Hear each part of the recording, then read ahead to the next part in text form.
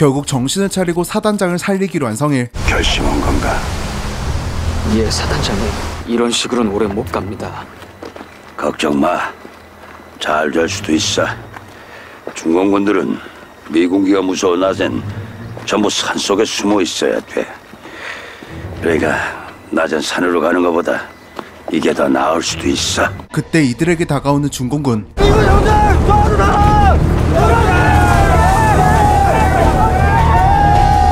잘 될 거다. 그 시각 풍산 유격대는 근처에서 한국군과 중공군의 난전을 포착합니다. 그 지금 잘못 나갔다간 우리 위치까지 노출돼요.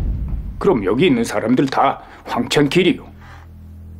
한편 사단장과 성의를 한 곱이 넘겼다고 생각했지만 또다시 이들에게 중공군이 다가옵니다. 이 폴은 누구요? 어,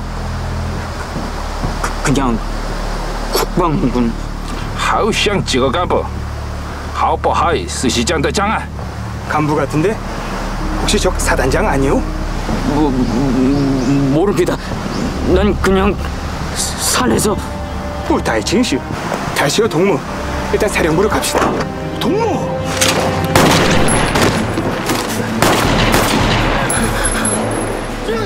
그렇게 겨우 도망치는 데 성공했죠. 걱정 마라. 이제 얼마 안 남았어. 이제 진짜 복귀할 수 있나 했지만 중공군이 있는 곳으로만 야무지게 가는 두 사람. 손들어, 손들어 이 국방군 새끼야! 정말 훌륭한 일에서 동무. 내가 사령부로 안내하갔어. 결국 사단장과 함께 중공군의 기지까지 오게 된 성일. 우리가 팔로군 시절에 만나고 여기서 또 보는 것. 그렇게 됐네요. 그래서 지금은 단 한 명의 전사라도 절실히 필요한 때다. 동무도 지금 이 순간부터 자랑스런 조선인민군의 전사로 다시 태어나야 한다. 이제 동지! 풍산 유격대는 근처에서 싸우던 한국군 하나를 구출했습니다. 일대 됩니다. 이중대 이현중 중사입니다. 사단장님, 나고됐다. 우리 이대대가 구출하려다 중공군에게 당했어. 무슨 일 있어도 사단장님 구출해야. 결국 사단장 구출 작전을 짜는 현중. 나도 살고 싶다. 근데요. 군인답게 살고 싶다. 그것뿐이야. 어따 말씀은 부대장님께서 잠깐 기다리시랍니다. 죽으라고 놔둬야 안매. 글쎄 길이나 안 내주고 와라. 아바. 그만해라. 우리도 살아남을 끼면 대원들을 아껴야 한다. 정화의 안내를 받고 중공군의 기지로 향합니다. 저쪽에 숫돌이 있으니끼리 우선 칼부터 갈라고. 기칼로는 앞만 찔러봤대자 아무도 안 죽겠어. 동무 팔만 아프디. 오늘 밤에 써먹게 될지도 모르니까니. 오늘 밤이요? 우리가 맨 앞에 설기야. 잠깐 볼일 좀. 성일은 또다시 도망을 시도하지만 마침 이곳으로 오는 현중과 부대원들을 보게 되죠.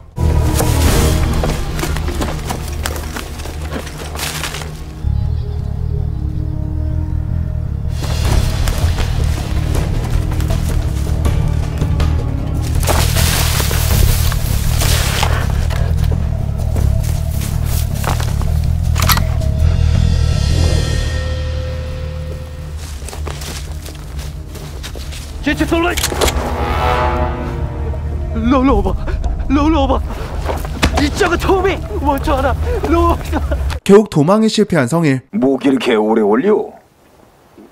예. 그냥 그리고 숲에서 마주친 남성이 잡혀 들어옵니다. 反祖国与人民逃兵的最后下场。搂搂吧，搂搂吧。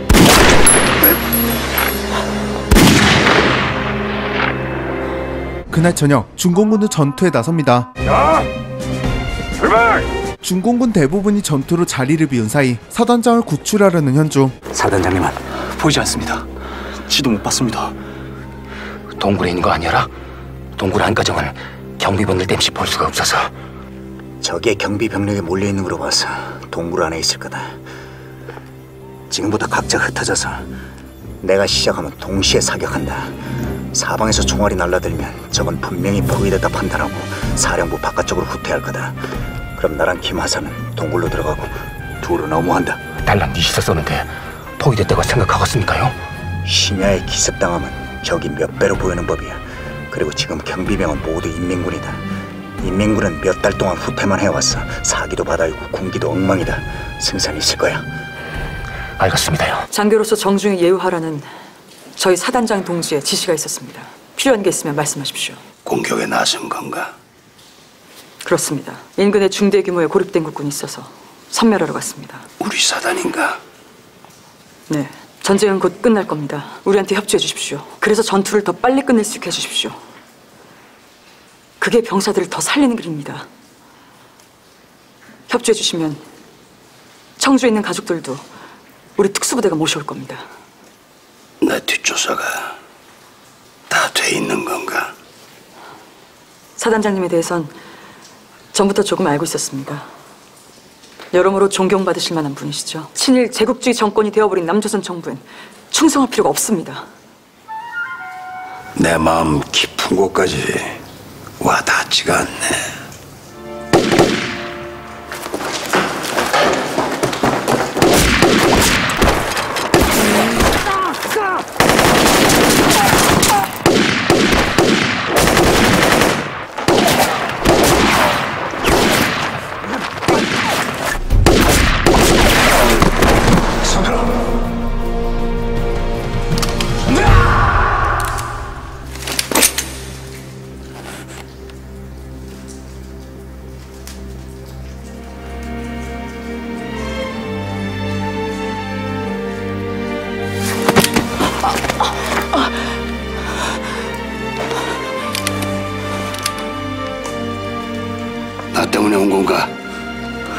사단장님. 독수리 일대됩니다. 그래. 고맙다.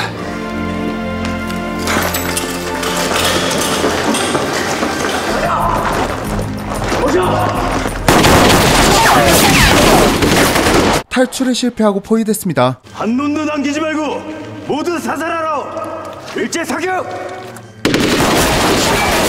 사격 금지! 완전히 포위됐습니다. 순순히 투항하시면 병사들을 살려주겠습니다. 절 믿고 병사들을 살리십시오. 거짓입니다요. 속지 마십시오. 가시면 안 됩니다. 결국 부대원들을 살리기 위해 밖으로 나가는 사단장. 용사들이 다 빠져나가고 나면 그때 나는 가겠네. 그게 아니라면 난 자교를 하겠네. 모두 총을 머리 위로 올리고 천천히 이쪽으로 나오시오.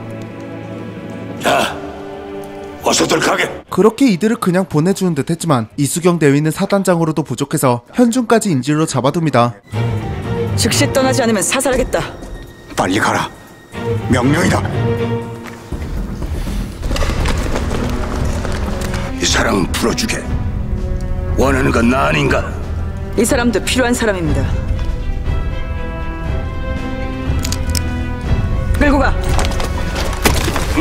부대원들은 포기하지 않고 다시 동굴로 들어갈 방법을 찾죠.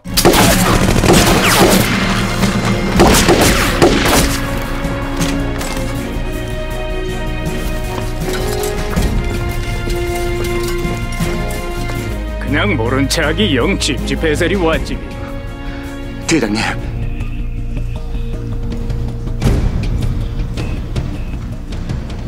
이 동굴이래 통로가 아주 많지 미. 벌어만 데려갈게요. 그 피는 보지 맙시다.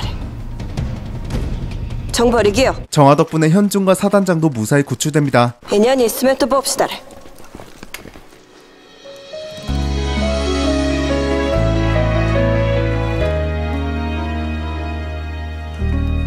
과거의 연인 사이였지만 두 사람은 이제 서로에게 총을 겨누는 사이가 됐습니다.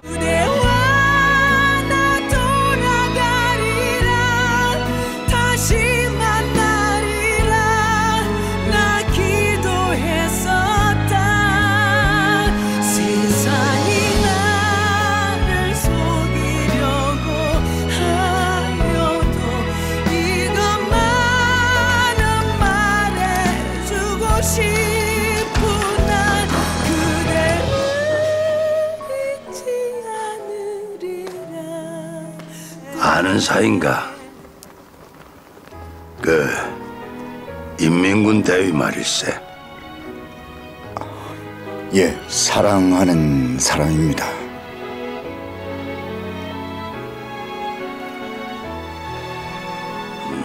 그렇게 풍산 유격대의 도움으로 부대로 복귀하는 사이 이번에도 성일은 총 한 발 쏴보지 못하고 숨어 있었죠. 일나라오. 다 끝났어. 우리가 이겼어.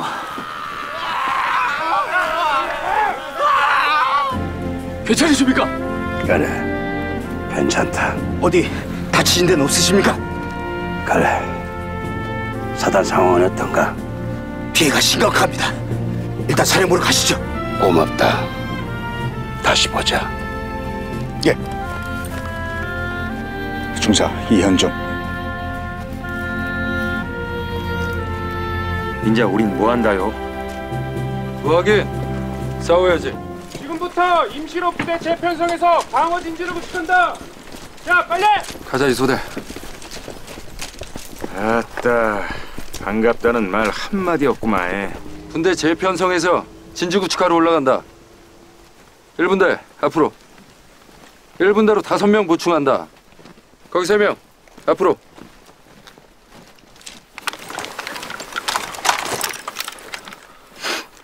잘 도와가겠습니다. 좋아. 그럼 다 됐으니까 1분대부터 출발. 야, 낮에도 영하 25도는 기본입니다. 밤엔 40도까지 내려갈 겁니다.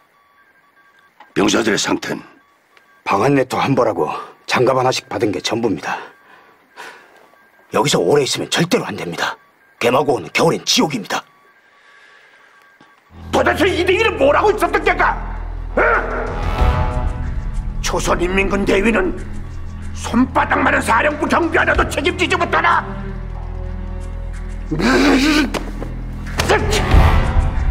오늘부로 소위로 감독이다. 나가! 추운데 왜 여기 나와 계십니까? 천막 안으로 들어가시라요. 압수당했어. 예? 계급도 이젠 소위요. 간밤에 국군이 잠입해서 사단장을 빼갔어요. 전부 내 책임입니다. 복귀하자마자 바로 방어를 준비하는 현중과 부대원들.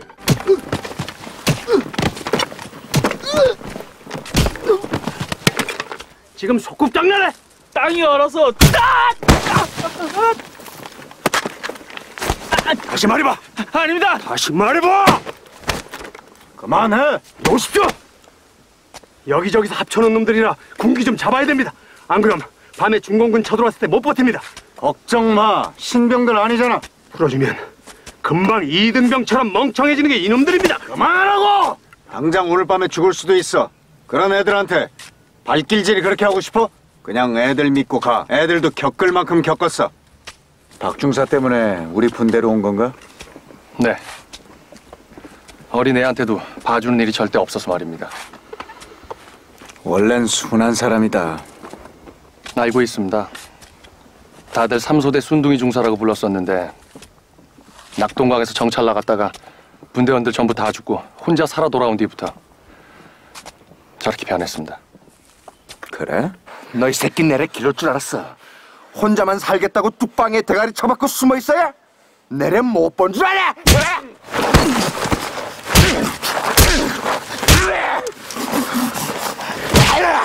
뭐 하는 거야? 아닙니다. 말하라오. 이 동물의 정신 상태가 영 걸러먹었으니 고조 총 한 방도 안 쏘고 숨어만 있지 뭡니까? 다른 동무들은 목숨 걸고 돌진하는데 비겁하지 않습니까?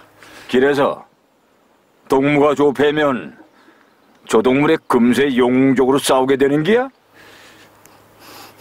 기, 그게 아니라 그럼 그냥 두라오. 저 동무도 동무나 나만큼 미치게 되면 그땐 알아서 잘 싸울 기야.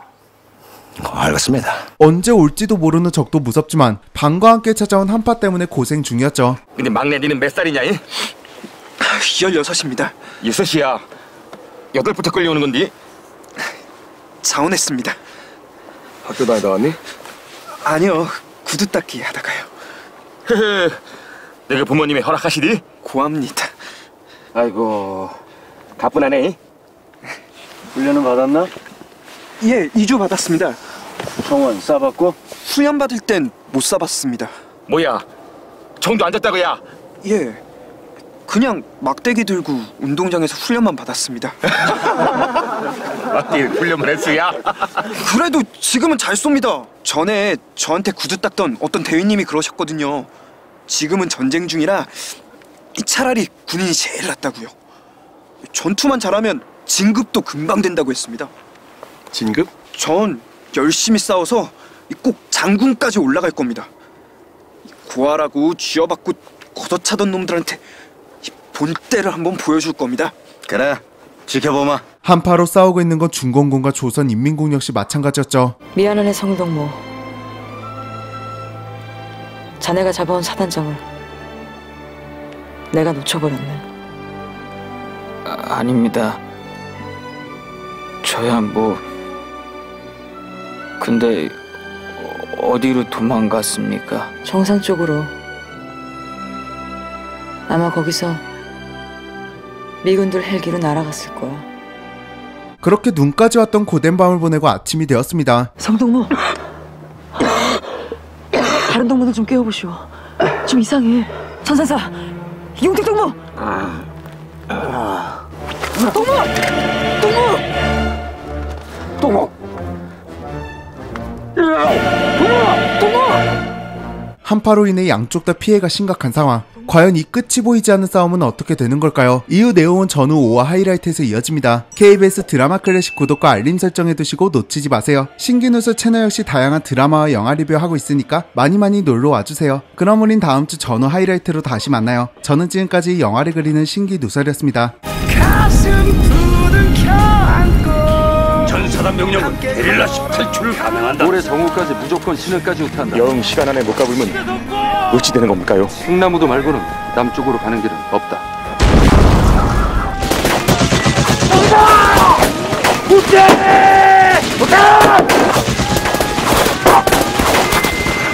아! 잠깐! 저희가!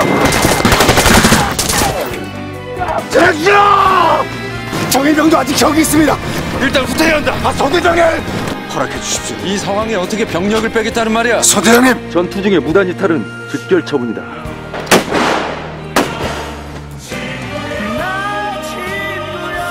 실수를 만회할 기회를 주겠다. 솜씨를 발휘해보도록.